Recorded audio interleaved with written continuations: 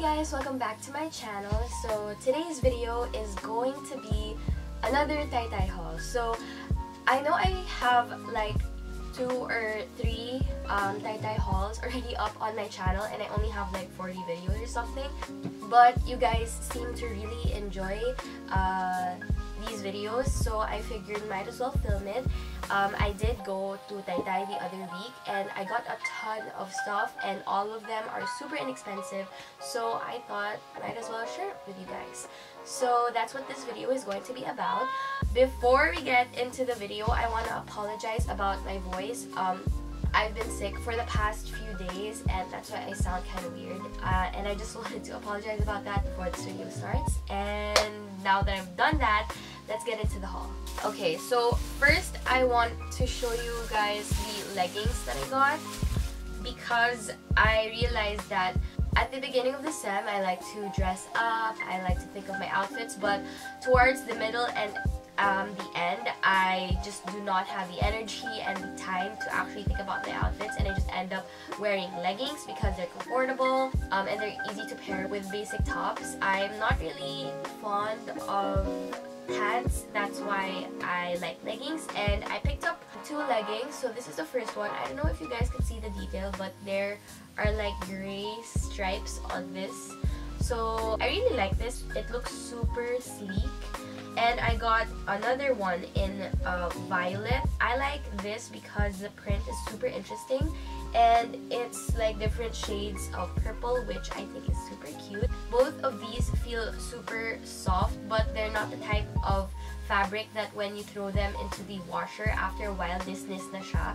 I hate it when the fabric has those like small little I don't know what you call it, basta nis-nis. I hate it when that happens. And these fabrics won't do that even if you wash them over and over and that's why I love these. To match the white leggings that I got, I bought this top which I think is super interesting because I think it's a really nice item and I was pretty surprised that I found it there. So this is like an oversized crop um, sweater hoodie. I don't know what you call it. So it's white. It has this ribbon and then the uh, pockets in the front. I, I like this because it's cropped but it's oversized for me.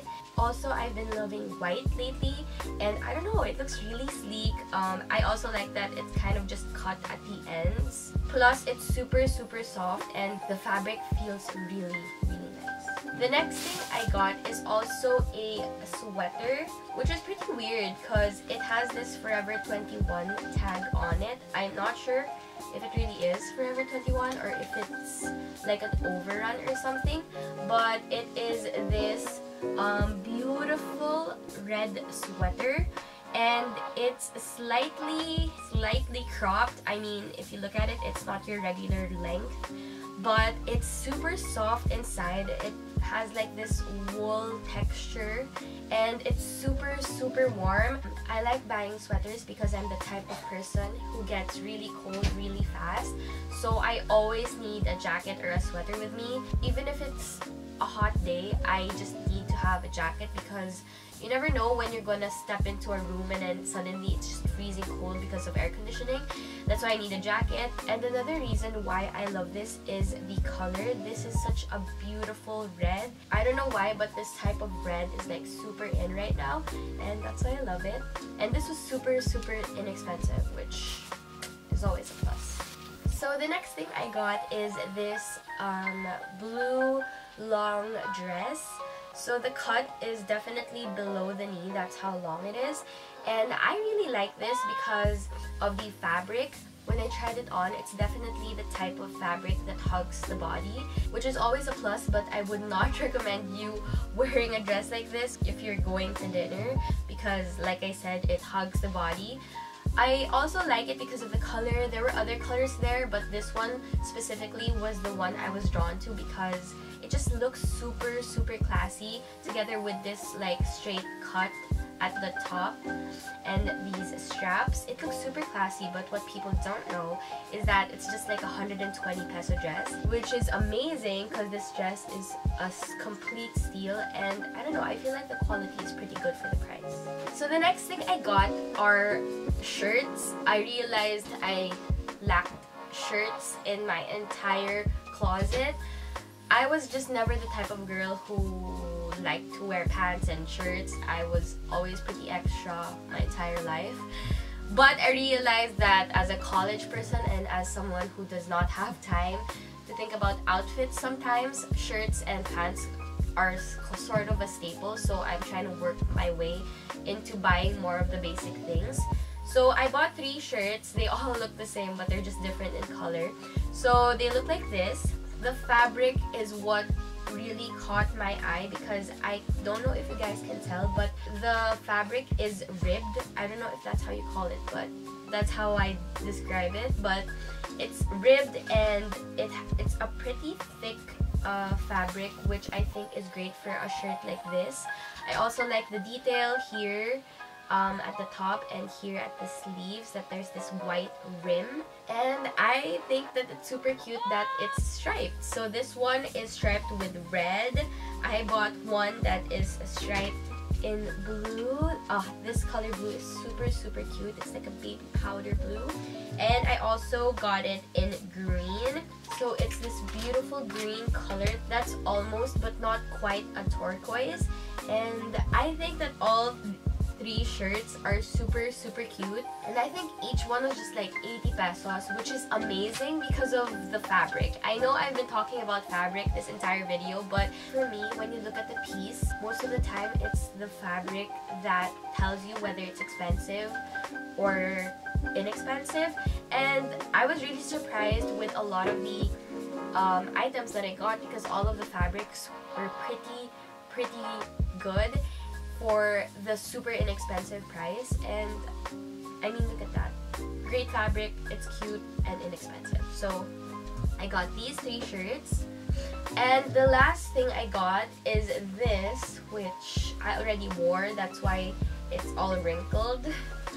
Okay so oh wow it looks pretty bad in camera but I got this cute top. Um holding it up like this does not do it justice so I hope you guys can tell when I'm trying it on that it's just a super super cute top. It's this um, checkered or do you call this pattern gingham? I'm not sure. Um, top that's pink and white. It's super super cute. I love it because of this like knot here um, which falls perfectly here for me and it hugs the body and kind of makes me look thinner when I'm not. Um, I like that the sleeves are pretty big and they're cut in such a way that when you're wearing it, it looks ruffled on your sleeve and that's, it's just super, super cute. I know this looks like it's pretty low down here, but for me, it's just perfect that it doesn't show all the stuff that it's not supposed to. And yeah, I really love this top. Of everything I got, I feel like this is one of my favorites together with the this white crop hoodie thing that I got. And yeah, so that's the last thing I got. Every time I'm getting ready for a haul like this, I'm always like, oh my god, it's gonna take me forever. Um, I bought so many things, but when I'm actually talking, I realized that I didn't get a ton of things. But anyway, I hope this video was helpful. Um, I really do recommend you guys to go shopping in Taytay. I know that some people don't like shopping in places like Taytay where it's open, it's hot, it's it's a place where there are a ton of people and you have to check each and every single stall to find something nice. But I feel like at the end of the day, it's just worth it. You know, like I feel like looking for the items that are nice such a huge place is part of the fun of shopping.